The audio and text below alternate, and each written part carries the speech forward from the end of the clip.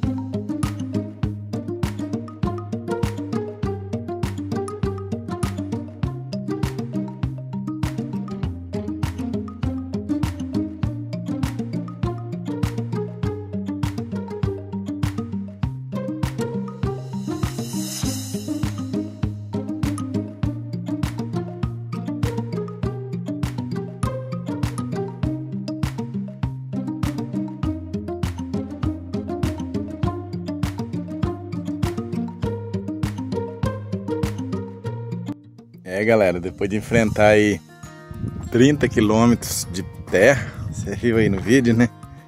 Chegamos aqui no, no chão preto, ó. Tá ali, direção Sinop. Eu quero, eu topei uma lavoura aqui legal, né? Que é difícil aqui na nossa região. Difícil não, né? Tá comum já, mas lá pra minha cidade, Alta Floresta, não tem. Então eu quero mostrar pra vocês aqui um pouquinho dessa lavoura aqui.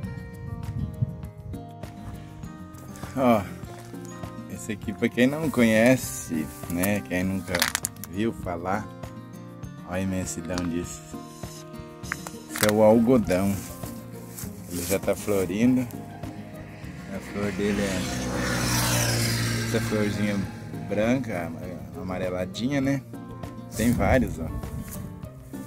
Ele é muito bonito.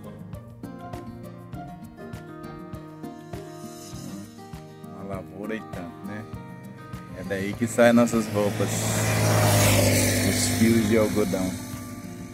Galera, esse vídeo foi mais assim, só um percurso que eu fiz de, de Piranga do Norte até Sinop. Eu vou chegar aqui, tem uns 10 quilômetros para chegar em Sinop. Mas eu vou deixar de gravar, vou parar por aqui. Porque a Sinop todo mundo conhece, né? E essa viagem minha foi uma viagem que eu saí de Alta Floresta em direção a Juara, que eu vou eu gravei também, né, esse percurso. E, e, e agora eu gravei de, de Piranga do Norte. Piranga não, quando saiu um pouco de Piranga tem um pedaço de asfalto, uns 30 quilômetros. Aí depois pegou essa estrada de chão que vocês viram aí. É só para registrar aqui um pouquinho do que, que a gente gosta de fazer, né, quando sai de moto. É, não importa se é asfalto, se é terra, né, o que, que vier, a gente. É chuva, é barro, é tudo, né? Mas é isso aí. Se você gostou do vídeo, vai deixando o joinha aí, né? É, comente aí embaixo se você gostou. E compartilhe aí nas redes sociais dos seus amigos. Se você não é inscrito no nosso canal, se inscreva. Experiência Caipira. Estamos lá no, no Instagram também, tá? Experiência Caipira. Só, só procurar lá. E Segue nós lá também, beleza? Um abraço a todos, fiquem todos com Deus e até o próximo vídeo.